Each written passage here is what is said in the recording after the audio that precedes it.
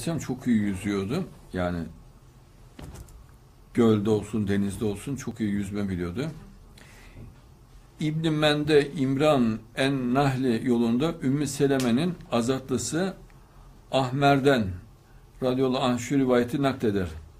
Gazaya çıkmıştık. Bir vadi veya nehirden insanları karşıya ben geçirdim. Hazreti Peygamber bana sen bugün bir geminin yaptığı işi yaptı buyurdu diyor. Yani insanlar karşıya geçirdiği için. İbni Abbas radıyallahu anh şöyle rivayet edilmiştir. Resulullah yüzdü. Suda yüzerken herkes arkadaşına doğru yüzsün buyurdu. Kendisi de Hazreti Ebu Bekir'e doğru yüzdü. Hazreti Ebu Bekir'in yanına vardığını onu kucaklayıp ben ve arkadaşım, ben ve arkadaşım dedi. Ona çok seviyor Hazreti Ömer de Hazreti Ebu Bekir de çok seviyor.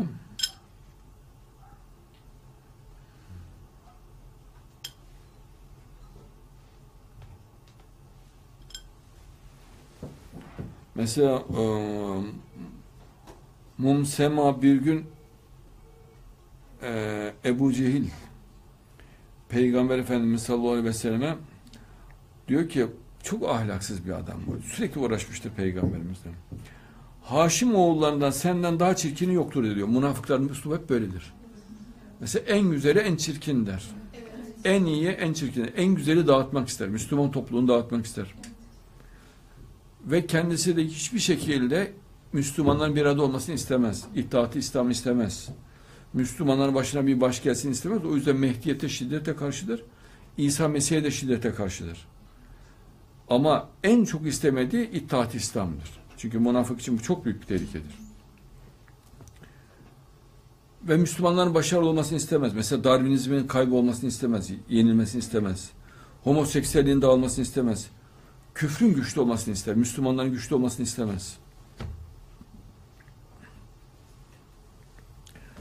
Resulullah diyor ki Ebu Cehil, Haşim oğullarında senden daha çirkini yoktur diyor.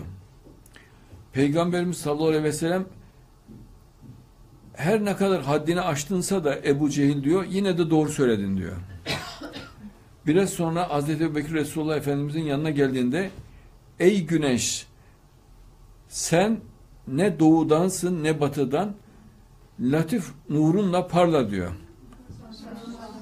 Peygamber Efendimiz sallallahu aleyhi ve sellem değersiz dünya sevgisinden kurtulan aziz dostum sen de doğru söyledin diyor. Orada bulunan sahibeler bu durum karşısında şaşırıyorlar. Bu ayrı bir olay. Ve ey insanların en şereflisi birbirine tamamıyla zıt şeyler söylendi. İkisine de doğru söyledin buyurdunuz. Sebebi nedir diye sordular. Peygamber Efendimiz sallallahu aleyhi ve sellem buyurdu. Ben hakkın kudret eliyle cilaladığı bir aynayım. Bana bakan olduğu gibi kendini görür. Ne varsa onu görür diyor aynada.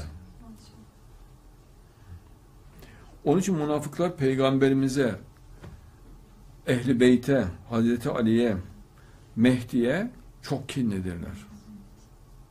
E, ahir zamanda muazzam ataklar yapacaklar. Münafıklar. Mehdi ve cemaatine karşı peygamberimiz onu dört ayrı hadiste belirtmiş.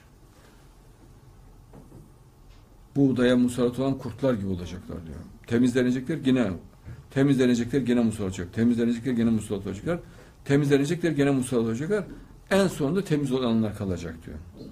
Münafıklar Mehdi'den akıl almaz nefret edecekler. Aynı Resulullah devrinde olduğu gibi kinle yaklaşacaklar, nefretle yaklaşacaklar. Bu onların özel yaratılmış şeytan ordusu olduğunun bir delili olmuş olacak.